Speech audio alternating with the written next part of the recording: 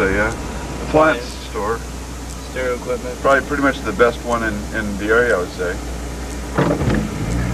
And I'm sure Tim would agree. So if you wanted to buy brand new appliances, that's where you'd go. Washers, dryers, TV. And directly across from Judd Black, I didn't show it, but that's where Floyd was uh, neutered when brought him out. Oh, you, you okay. remember Floyd, our black cat? Well, he died a couple of years ago. He died of a urinary tract thing. Uh, they get it out here quite a bit, the male cats do. We're now approaching the Hewitt Avenue Trestle. Going over Snohomish River. This is what everybody considers to be the worst part of driving in this whole area. I don't think it's that bad at all. This is Snohomish River.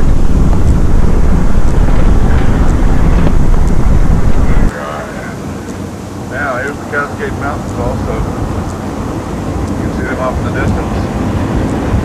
If the truth be known, I must say that from our home in Everett, we can honest to God be in the Mount Baker Snoqualmie National Forest and driving in the mountains in less than 30 minutes. That's no shit. Less than 30 minutes we can be in the mountains.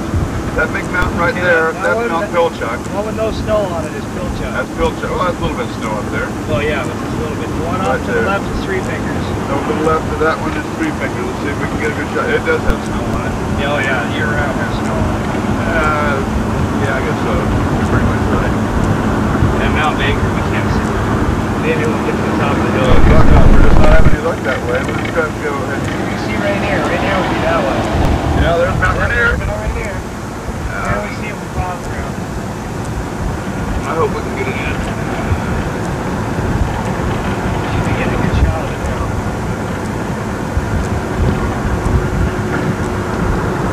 Well, I think so, but I don't know if it's coming in at all. Can't tell. We'll go back this way again. We are still going across the trestle. They're doing some major rework here on this trestle also. Two mile stretch of road you don't want to break down on. Yeah, you can Break down, it's a two hundred dollar fine if you break down on this. $200 fine if you break down on it. It is too. Vaughn got popped it. Vaughn got it? Vaughn got it. ran out of gas. Two hundred dollar ticket. That's pretty extreme. Well, you're. You figure there's nowhere for the cars to go, so you screw up traffic. Yeah, that's true. There's no place to pull off the side here, folks.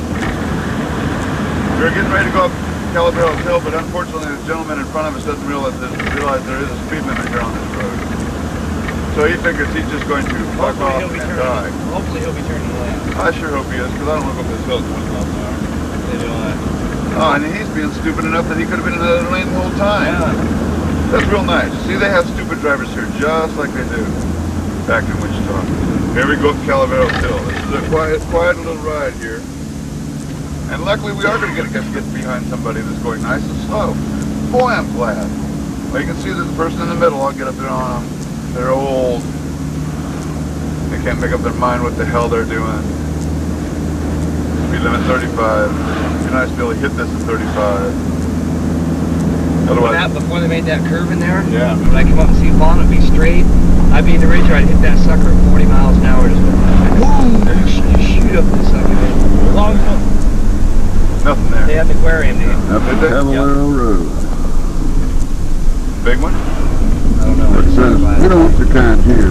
Well, as you can tell, Tim happens to be on the lookout for an aquarium.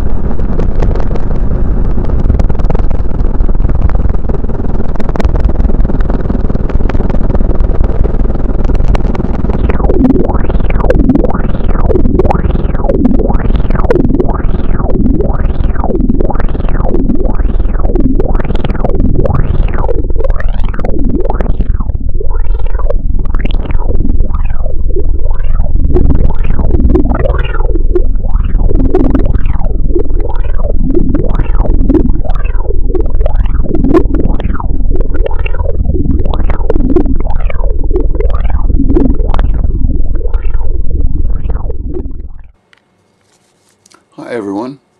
Thanks for watching. Hope you enjoyed it. Make sure you give a like down there at the bottom and leave a comment. Tell all your friends about us. Thanks a lot. See you later.